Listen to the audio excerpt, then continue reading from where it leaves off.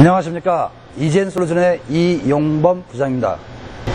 이젠 솔루션은 모바일폰, 디카, 무전기, 하이패스, 내비게이션, PDF 등에 들어가는 2차 전지를 개발 및 제조하는 회사입니다.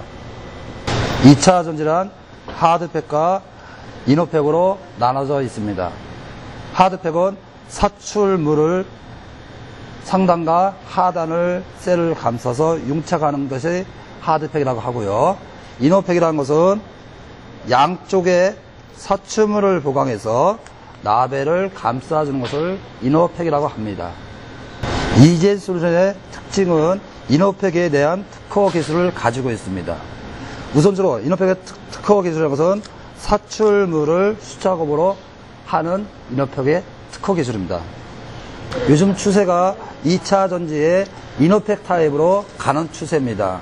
저희는 이 이젠 솔루션의 특허 보유 기술은 우선적으로 자동화가 아닌 수동화 작업으로서 각종 사출물을 특허를 내기 때문에 2차 전지 팩에 대한 특허를 기술을 가지고 있습니다. 거기에 따른 것은 원가 절감 및 그 불량률을 제로할 수 있다는 것이 가장 강점이라고 볼 수 있습니다.